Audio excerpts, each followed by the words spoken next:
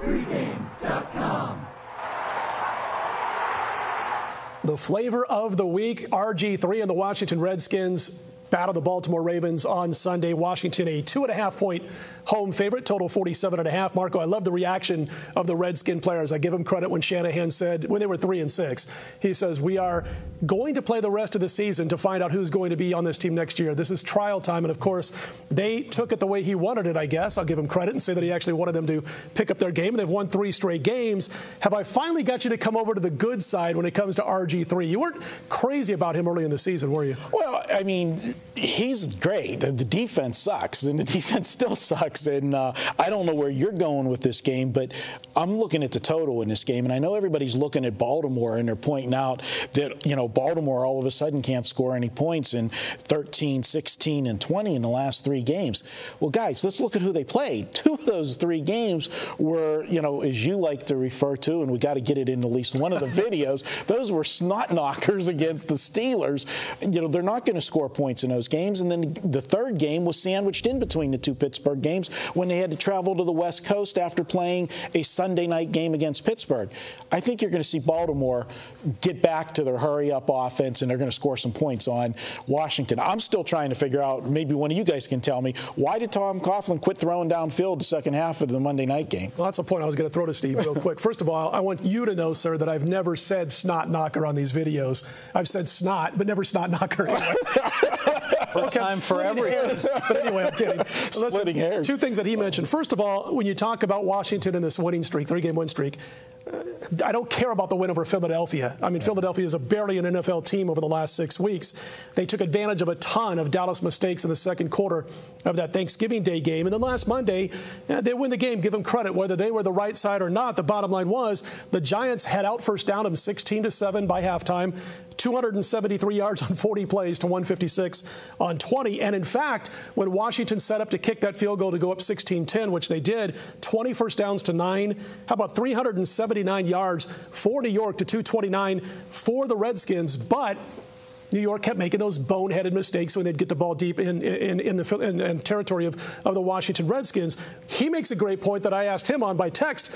Why are they not throwing the, fir- the ball on first down against Washington? No pass rush, no secondary, and they're playing into their strength by running the ball on first and second down. I think I don't think they cut the grass in Washington for about two months. Did you see that field? It was like the slowest track ever. I'm, i like the over before, and then mm-hmm. before the game started, money's coming in on the under, and maybe weather's not completely ideal, but then I get a text midway through the first quarter. It says, Don't be an idiot. This is the slowest field I've ever seen bet under. So again, I got my, my Cantor tablet, so I'm jamming in oh, sure. under bets and it's dropping mm-hmm. like crazy. So I, I, have to say, you know, with Joe Flacco, he's a great quarterback at home with the with the no huddle and the like. But when he goes on the road, we're talking nine points against the Kansas City Chiefs. We're talking about complete ineptness against some average defenses like San Diego. I do not trust their, I trust their defense to get back on track here, and I do think that Washington just won their Super Bowl and a super, a super emotional game. Lucky fumble that got sure. recovered for the touchdown, though they did fumble going in at the end of the third quarter, so maybe you could say they deserve seven points.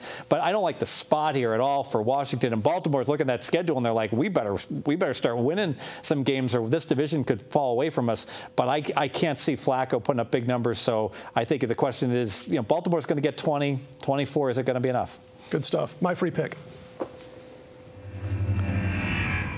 Well, I'm going to back the Baltimore Ravens who are on the road. As Fezzik just alluded to, this is a huge game for the Baltimore Ravens. Just check out the rest of their remaining schedule and Pittsburgh's, and you'll see what we're talking about Uh, again, Flacco is not my favorite quarterback in the NFL, and he's a it's a big home road dichotomy for Flacco in this offense. And the offense that they went with before the season started, we talked about it with Marco, who pointed out it's not the type of offense that benefits this aging, somewhat slow defense very well. And we saw the defense pay for what the offense was doing early on in the season. But here's a, a point that you won't hear hardly anywhere when they talk about this game. I like RG RG3. I liked him when he was in college. He's one of the smartest guys you're going to see on and off the field. But they're handling this guy with kid gloves right now.